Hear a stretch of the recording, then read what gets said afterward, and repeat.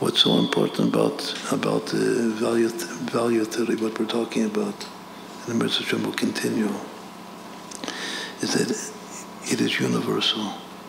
That all cultures and all religions, lahavdil, all talk about values, and there's much in common.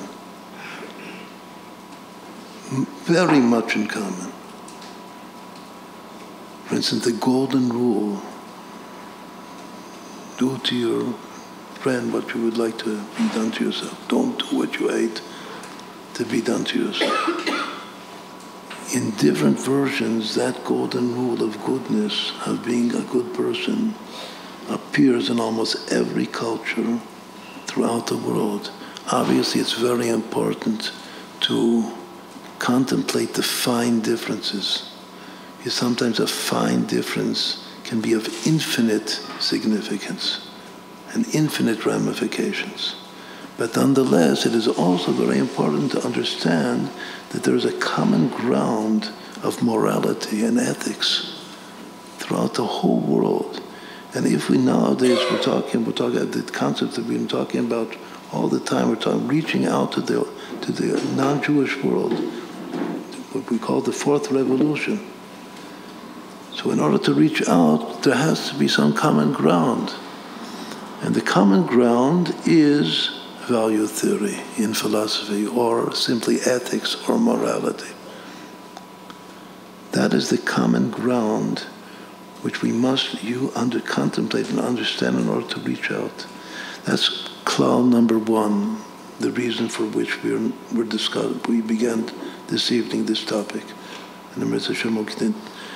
Klal, the second great principle is that every modern system that you will meet, two examples of which we wanted to mention is uh, this moral foundations theory and the, and the masculinity theory,